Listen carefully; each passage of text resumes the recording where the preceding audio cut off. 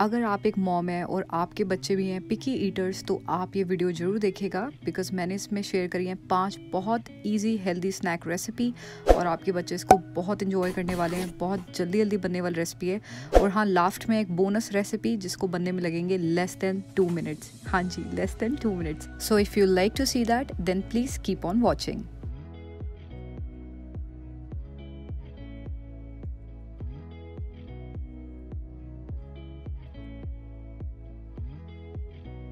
तो मंडे की शुरुआत करते हैं यमी यमी सैंडविच के साथ। हर बच्चे को सैंडविच पसंद होता है, लेकिन हम इसको देंगे थोड़ा सा हेल्दी टर्न बटर बच्चों के लिए अच्छा ही होता है और यहाँ पे मैं बहुत सारे सैंडविचेस बनाने वाली हूँ, इसलिए बटर आपको थोड़ा ज़्यादा लग रहा होगा। तो बटर के अंदर ऐड करा है मैंने गार्लिक और गार्लिक ऐड करने के बाद उसको इन्फ्यूज़ करना है फॉर टू मिनट्स और इन्फ्यूज़ होने के बाद जैसे कि आप देख सकते हो गार्लिक को ब्राउन नहीं करना है, हल्का सा इन्फ्यूज़ करना है एंड देन इसके अंदर हम लोग ऐड करेंगे कॉर्नस मैं यहाँ पे कैन वाले कॉर्नस यूज़ करूँ बिकॉज़ यहाँ पे कॉर्नस इतनी ईजिली अवेलेबल थे नहीं तो आपके पास अगर फ्रेश है, आप फ्रेश कॉर्नस को हल्का सा बॉईल करके इसमें यूज़ कर सकते हैं। एंड देन कॉर्नस को पकने में करीब लगेंगे पाँच मिनट क्योंकि ऑलरेडी बॉइल्ड है देन इसमें मैं ऐड करी खूब सारा स्पिनिच जो बच्चों के लिए बहुत अच्छा है, उनकी हेल्थ के लिए भी। और स्पिनिच को रिड्यूस होने में ज़्यादा टाइम नहीं लगने वाला है तो उसके अंदर मैं ऐड करूँगी सॉल्ट और पेपर अगर आपके बच्चे पेपर पसंद नहीं करते तो आप इसको स्किप भी कर सकते हैं। एंड देन यहाँ पे जब आप देख रहे हो, काफ़ी पानी आ गया है थोड़ा, जो ये पालक के वजह से आता है तो यहाँ पे मैं ऐड करने वाली हूँ दो चम्मच मैदे का। इससे पानी भी सूख जाएगा बट आपको पता लगेगा कि हम एक सॉस बना रहे हैं इसकी अभी। तो अब आप देख सकते हैं, मैंने इसमें डाला है आधा कप दूध। आधे कप दूध को बॉयल के लिए छोड़ना है और इसको बॉयल होने में लगेंगे दो से तीन मिनट दो से तीन मिनट बाद जब दूध बॉयल होना स्टार्ट हो जाएगा, तब आपको इसमें डालनी है चीज़ आप इसमें अपने बच्चों की फेवरेट चीज़ भी डाल सकते हैं, जो भी उनको पसंद हो, यहाँ पे मैं डाल रही हूँ शेडर अगर आपके पास पिज़्ज़ा मोजरेला चीज़ अवेलेबल है तो आप वो भी ऐड कर सकते हो. तो जैसे कि जैसे दूध ने बबल देने स्टार्ट करे तो यहाँ पर मैं ऐड करूँगी अपनी श्रेडिड चीज़ एक बार उसको बस मिक्स कर लीजिएगा एंड देन बन के रेडी हो जाएगा. अगर आपके बच्चे मेरे बच्चे की तरह छोटे हैं तो आप यहाँ पे उनके लिए अभी यहीं से जो हमने फिलिंग बनाई है वो निकाल के, आप अपने लिए या बड़े बच्चों के लिए उसमें चिली फ्लेक्स भी ऐड कर सकते हैं, जैसा कि मैं करने वाली हूँ।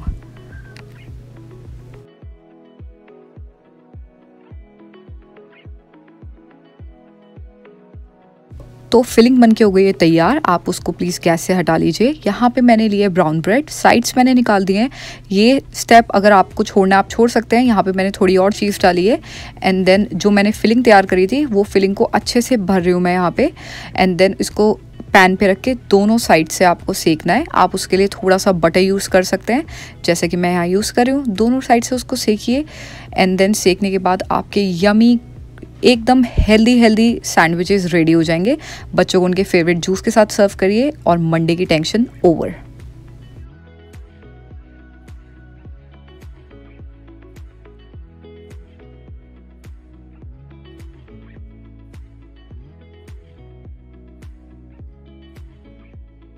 ट्यूसडे को हम बनाएँगे एकदम लाइट सा स्नैक इसके लिए मैं यूज़ कर रही हूँ सूजी। आप जितनी ज़्यादा बनानी है, आप क्वांटिटी बढ़ा सकते हैं। तो यहाँ मैं यूज़ कर रही हूँ पाँच से छः चम्मच सूजी के। बाद मैं ऐड कर रही हूँ डेढ़ से दो चम्मच दही के। इससे काफ़ी सॉफ्ट बनेगा।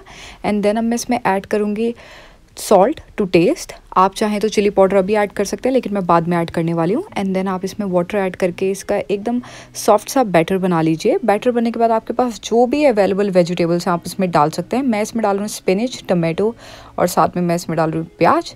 और आप अगैन इसको ढंग से एक बार और मिक्स कीजिए। एंड देन मैं इसमें ऐड करूँगी थोड़ी लाल मिर्च। अगर आपके बच्चे लाल मिर्च नहीं खाते हैं, आप टोटली स्किप कर सकते हैं स्टेप को। बट ये इतना स्पाइसी नहीं बनेगा। अब मैं इसको रखूँगी फॉर टेन फिफ्टीन मिनट्स उसको थोड़ा फूल जाएगा। एंड देन तवे पर तेल डाल के इसको सूजी के पैनकेक्स को दोनों तरफ़ से अच्छा गोल्डन ब्राउन होने तक पकाना है एंड आपके सूजी के पैनकेक्स रेडी हो जाएँगे in less than ten minutes Wednesday को मैं बना रही हूँ बेसन के चीले, थोड़े से ट्विस्ट के साथ तो यहाँ पे मैं ऐड कर रही हूँ बेसन। आपको जितने ज़्यादा बनाने हैं, आप उसके हिसाब से क्वांटिटी कम या ज़्यादा कर सकते हैं। और इसमें अब मैं ऐड करूँगी सॉल्ट एकदम आपके टेस्ट के हिसाब से, और थोड़ी सी लाल मिर्च। इसको अच्छे से मिक्स करना है एंड बेसन के चीले को ज़्यादा सॉफ्ट बनाने के लिए आप उसमें ऐड कर सकते हैं एग अगर आप एग नहीं खाते हैं, आप टोटली स्किप कर सकते हैं इस पार्ट को. यहाँ पे एग डालने के बाद इसको अच्छे से मिक्स करना है, एकदम बेसन और एग पूरा मिक्स होकर एकदम सॉफ्ट पे, पेस्ट बन जाएगा एंड देन जो वो अच्छे से पेस्ट बन जाएगा तो यहाँ पे मैं ऐड करूँगी दूध। मैं बेसन के चीलों में पानी नहीं डालने वाली और दूध ऐड करने से इनक्रेडिबली सॉफ्ट बनने वाले हैं।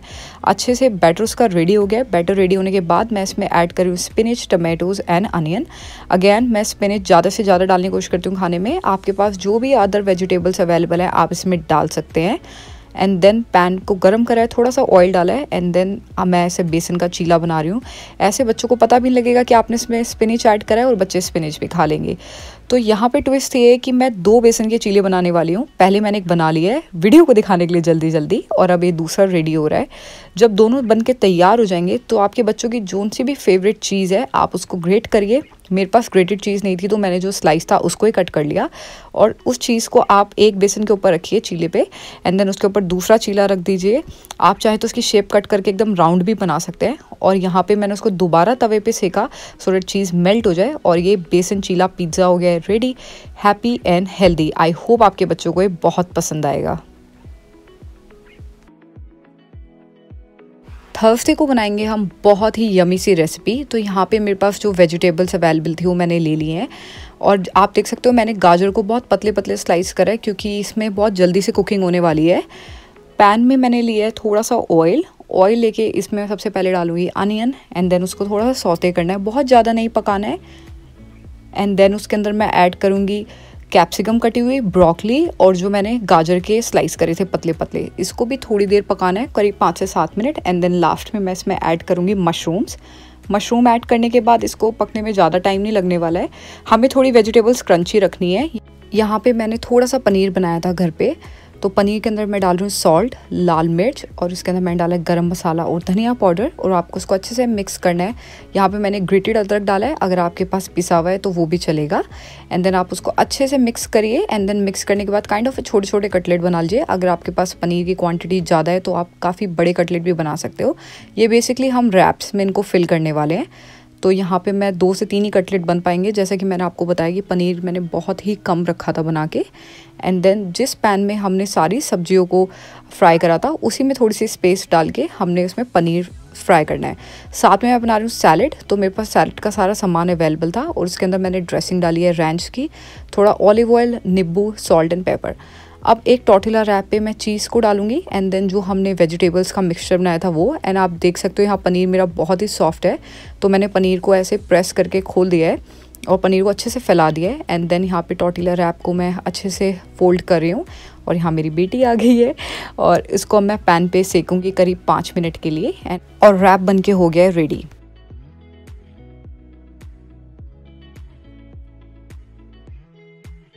और ये है दो मिनट में बनने वाले पैनकेक। इसके लिए आपको चाहिए एक एग एक ओट्स का पैकेट और बनाना आपको इस सबको एक ब्लेंडर में डालना है और सबको अच्छे से ब्लेंड करना है। तो यहाँ पे मैं एग्स और बनाना में ओट्स डाल रही हूँ एंड देन ओट्स डाल के इसको आपको ब्लेंड करने में लगेंगे करीब तीस सेकेंड और यहाँ पे आप ये देख सकते हो, इसकी अच्छी प्यूरी बन गई है। ये ज़्यादा पतली प्यूरी नहीं है, थोड़ी सी थिक प्यूरी है। अब आपको पैन पे लेना है थोड़ा सा ऑयल एंड देन आपको ये एज अ पैनकेक की शेप में इसको थोड़ा थोड़ा ड्रॉप करना है।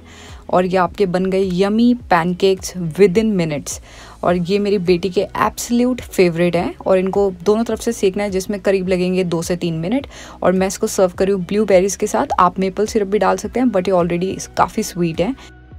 बेटी बाइट साइज़ जल्दी से खा पाती है तो इसलिए मैंने इसको बाइट साइज़ कर दिया है और ये उसका एब्सल्यूट फेवरेट फेवरेट मील है। तो यहाँ पे वो उसको इन्जॉय करती हुई, और thank you guys for watching this video अगर वीडियो पसंद आई हो तो प्लीज़ लाइक कर देना और सब्सक्राइब कर लेना चैनल को। और अगर आपको ऐसी और वीडियोस देखनी है तो प्लीज़ मुझे कमेंट सेक्शन में ज़रूर बताना। बाय